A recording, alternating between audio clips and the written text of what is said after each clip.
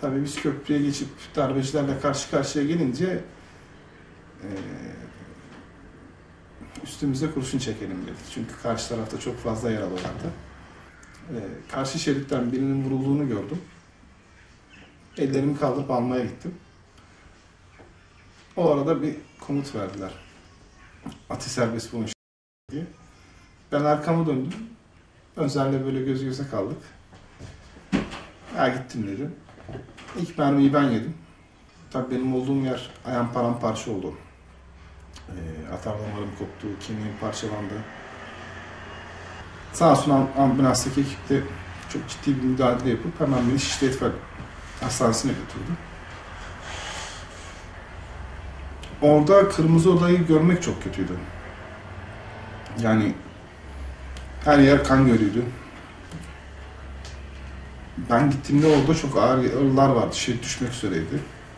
49 kez ameliyat masasına girdim ben.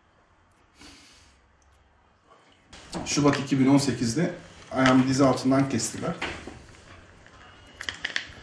En son ameliyatlarımı 2021 yılında oldum. Ve 8 ay tekrar yürüyemedim.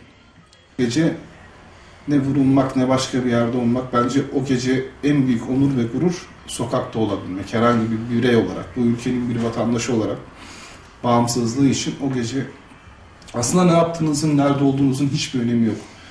Sadece sokakta olup devleti savunabilmek bence bu başlı başına en büyük gurur ve fedakarlıktı. Çünkü karşımızdaki insanlarda ağır makineli silahlar vardı, tankı vardı, helikopteri vardı, uçakları vardı. Biz bunların karşısına sadece koyabileceğimiz tek bir şey olarak vücudumuz vardı. Biz vücudumuzla, çıplak ellerimizle, ayaklarımızla bunu bu zulme durdurduk. Bence bu müthiş bir gurur. Ve bunu dünyada yapabilecekleri tek millet bence asil Türk milletidir. Rabbime hamdolsun bizi de bu milletten eyledi. O gün o insanlarla sokakta olmayı nasip etti. Çok güzel bir onur.